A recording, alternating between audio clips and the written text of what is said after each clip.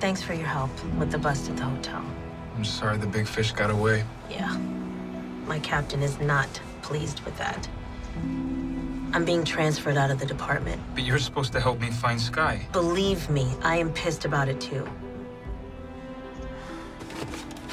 I'm not supposed to do this, but just because I got screwed doesn't mean you should be too. What is this?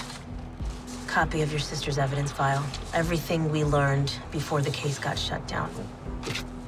We also found this outside of the hotel. Sky's key card? We pulled her access record from that night, but it wasn't very helpful. She didn't use a single door after 8 p.m.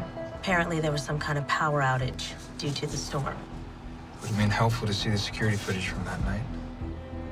What if there was never any power outage?